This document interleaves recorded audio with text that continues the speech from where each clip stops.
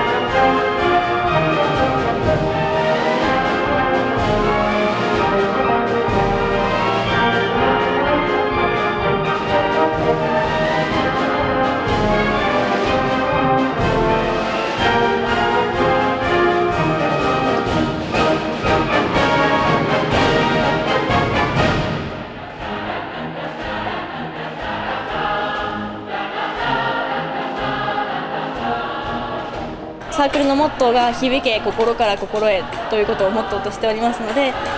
お客様の心に私たちの作る音楽を共有できたかなと思いました。みんなが一生懸命に一つのことに向かえることですかね。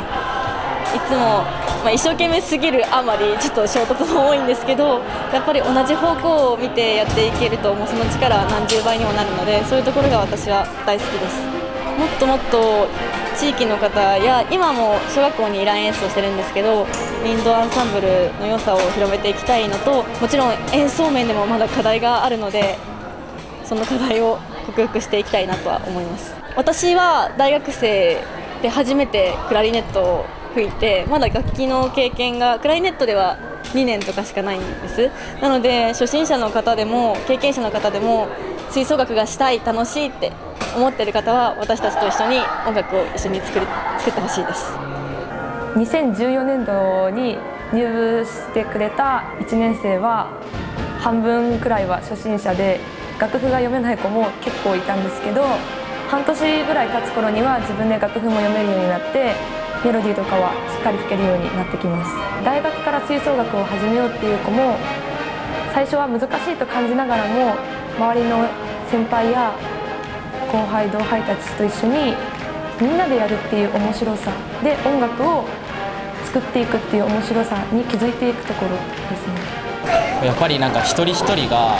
こう欠けてはならない存在。メンバー一人一人が大大切に扱われているところがそこがいいところだと思っています。もう最後のもう拍手がもうすごいう 嬉しくて実を言うと泣いちゃいました。